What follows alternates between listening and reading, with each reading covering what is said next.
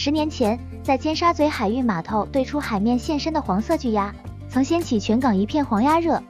其鲜黄色的庞大身躯总吸引一般鸭迷追逐，出尽无数风头。如今终于重游湘江，更是打妈里将展出两只巨鸭，令一众想目睹巨鸭风采的鸭迷热切期待。主办方将于六月一日公布黄鸭展览详情，一众鸭迷万勿错过。为游入维港，两只巨鸭将先一步在汀九桥及青马大桥附近海域畅泳。东网记者今早二十五日。抵达青衣北部单杆山路船厂，直机工人为黄鸭试水做准备。今次展出的黄色巨鸭较十年前来港展出的高十六点五米的前辈更为魁梧，高约十八米，相当于六至七层楼高。只见两只巨鸭已充气完成，在岸上等待落水。现场工人以吊机及吊索环绕鸭背绑紧，为黄鸭准备下水礼。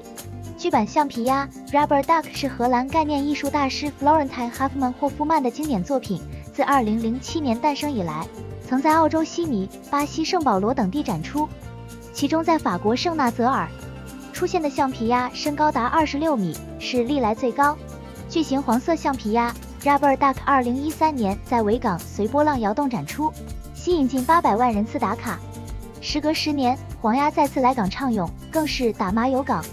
主办方预告，六月一日将公布黄鸭游入维港安排。料会在掀起赏鸭潮，